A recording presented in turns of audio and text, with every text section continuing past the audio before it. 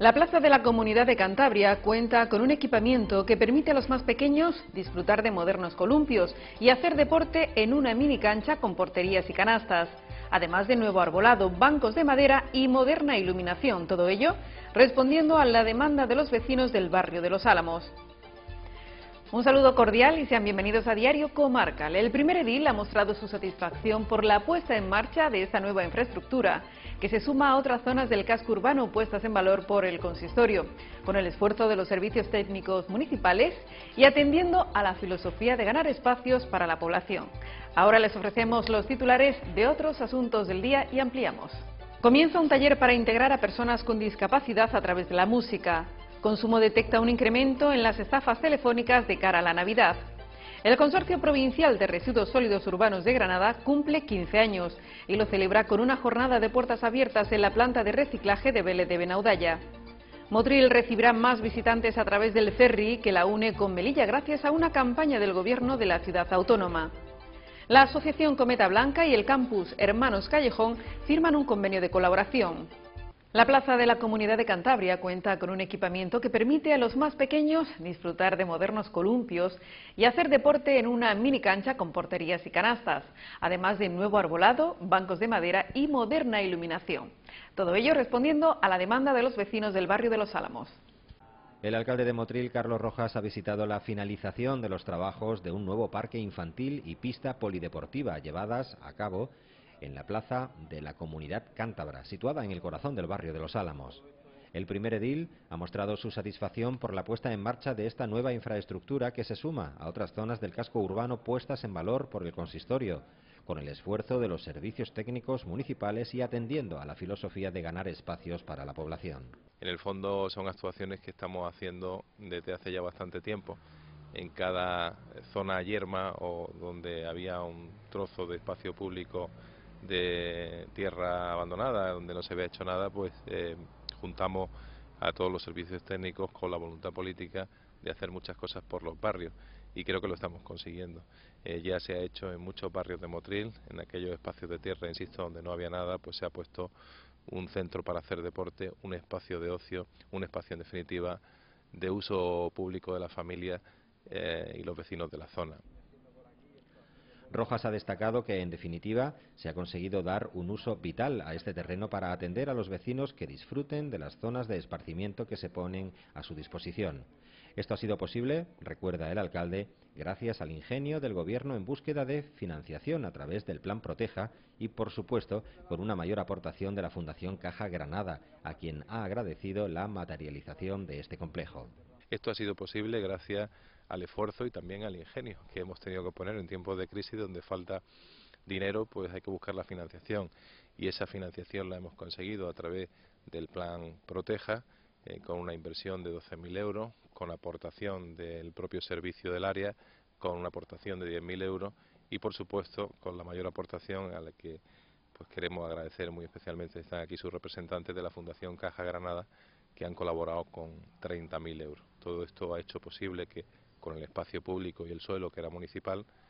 eh, hayamos hecho este complejo que me parece un complejo dignísimo. Por su parte, Rosa Carrascosa, directora de zona de la entidad ahorrista, ha querido agradecer al Ayuntamiento de Motril que les haya hecho partícipes de este proyecto e indica que el objetivo de Caja Granada es llevar a cabo este tipo de actuaciones que redunden en los ciudadanos, por lo que la Fundación Caja de Granada seguirá colaborando con esta ciudad través de su fundación, pues queremos agradecer evidentemente a, la alcaldía y a la ciudad de Motril que nos haga participar en este, en este tipo de actos.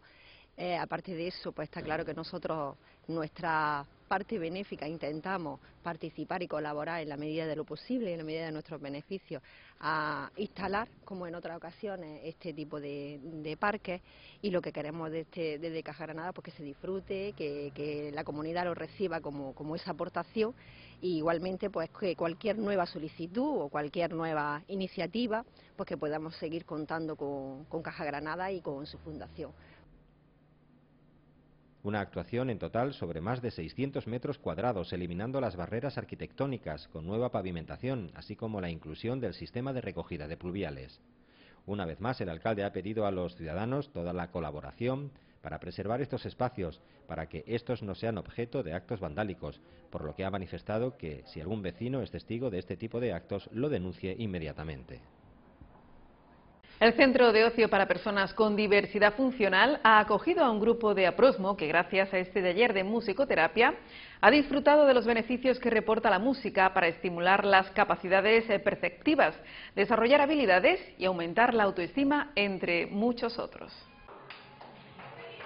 López Cano ha explicado que el taller de musicoterapia se ha ofrecido a todas las asociaciones y colectivos de personas con discapacidad de la ciudad que paulatinamente irán celebrando sus sesiones en el centro de ocio, puesto que deben ser grupos reducidos para que el rendimiento esté al nivel deseado.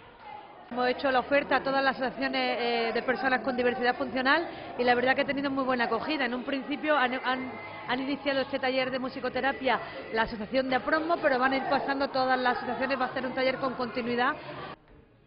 el taller tiene como finalidad desarrollar potenciales o restaurar las funciones del individuo de tal manera que éste pueda lograr una mejor integración intra o interpersonal. Cada sesión tendrá lugar los martes entre las once y media y las doce y media en el Centro de Ocio y Tiempo Libre para Personas con Discapacidad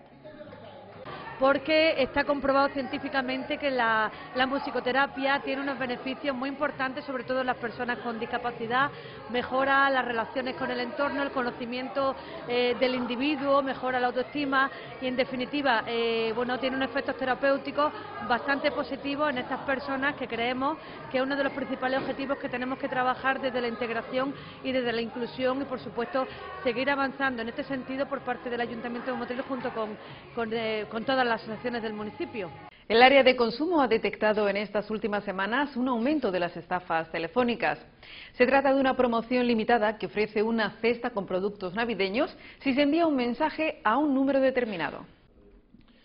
La Oficina de Información al Consumidor ha llegado a contabilizar en los últimos meses más de medio centenar de consultas por este tipo de llamadas. Entonces, los consejos que le podemos dar de aquí, desde el área de consumo del Ayuntamiento de Motril, desde la OMI, es que, bueno, para estar seguro de que ese tipo de llamadas no lo va a recibir nunca, es que pidan a su operador que tenga, su operador que tenga contratado la línea de teléfono móvil, sobre todo, es la desconexión de los servicios de tarificación adicional. Después, no contestar a los mensajes que se reciban, porque muchas veces no son llamadas de voz, sino que son mensajes en los que te indican pues que te ha tocado cualquier premio, cualquier, fin, cualquier golosina, es decir, te ponen un reclamo para que piques, es no contestar nunca esos mensajes y eliminarlos directamente. Y luego, si se desea, ya esto como un factor adicional, pues poner denuncia ante la policía o bien directamente, bien acudiendo a la comisaría, pues que se tenga la más cercana, o bien a través de Internet. Según el decreto que regula los servicios de tarificación adicional, los usuarios tienen derecho a que se les desconecte del mismo modo comunicándoselo a su operador, quien debe admitir esta petición, sea por escrito o por teléfono, y lo debe de hacer de manera gratuita. En el mensaje que se recibe en los móviles se puede leer Enhorabuena, su número ha sido elegido para una gran cesta de Navidad completamente gratis. Envíe ahora mismo alta cesta al 79200N0. Por otra parte, el concejal de consumo también ha aconsejado que deben de hacer los ciudadanos sobre las sucesivas campañas de revisión de instalaciones del gas doméstico y que durante estos días tiene una nueva secuela. Este tipo de, actuaciones suele aparecer periódicamente. Bueno, el primer consejo que se le puede hacer, el más seguro, el más expeditivo y además el, que ya no va a volver a tener ningún problema, es que no le abran la puerta a nadie ni le dejen el acceso a su vivienda a nadie que ellos previamente no hayan llamado. Es decir, si tienen que cambiar, por ejemplo, los conductos, la conducción de gas, la famosa goma de gas, pues que sean alguien que ellos hayan llamado. Y además, pues para más seguridad todavía, al que hayan llamado, pues que antes previamente le pidan un presupuesto de lo que le va a costar y que queden de acuerdo en lo que le va a costar. Pero como norma general y más segura es que nadie que aparezca diciéndole que tiene que cambiar la goma del gas, que van de parte de la empresa suministradora de butano, que normalmente la empresa suministradora de butano no lo hace así. Los técnicos de la OMIC, oficina ubicada en la plaza de San Agustín, atenderán cualquier tipo de duda que surja entre los consumidores. El Consorcio Provincial de Residuos Sólidos Urbanos de Granada cumple 15 años y lo ha celebrado con una jornada de puertas abiertas en la planta de reciclaje de Vélez de Benaudalla. En la iniciativa han participado alcaldes de la comarca, empresarios, el delegado de Medio Ambiente de la Junta, Francisco Aragón, la vicepresidenta primera de la Diputación, Luisa García Chamorro, el diputado de Medio Ambiente, Francisco Tarifa. Por parte del Ayuntamiento de Motril han estado presentes los concejales de Medio Ambiente, José Luis Chica, e Interior, José García Fuentes. Tarifa comentó que todo comenzó con la puesta en marcha de la planta de tratamiento de residuos sólidos urbanos de Vélez de Benaudalla, que inició su funcionamiento con la recepción de un camión de Motril. De forma paralela se realizó un plan director, gracias al que se puso de acuerdo a los 168 municipios de la provincia y se ayudó a 113 de ellos con una inversión de más de 3 millones de euros, gracias a la que se adquirieron 32 camiones, se clausuraron 300 vertederos incontrolados y se compraron más de 4.500 contenedores. Algunos ayuntamientos, hay que decir, que no hace tanto y parece que hace ya una eternidad, hace 15 años, ni siquiera ni siquiera recogían su basura. Es decir, que hoy es un orgullo, una satisfacción que toda la provincia tenga la posibilidad de reciclar y de llevar a cabo el tratamiento de sus residuos sólidos urbanos. Y tengo que deciros también que para nosotros, para los políticos, para la ciudadanía, para esos alcaldes y concejales que llevan 15 años trabajando y luchando, es también una satisfacción de que hoy la provincia de Granada sea un referente a nivel nacional en cuanto a tratamiento de residuos sólidos urbanos.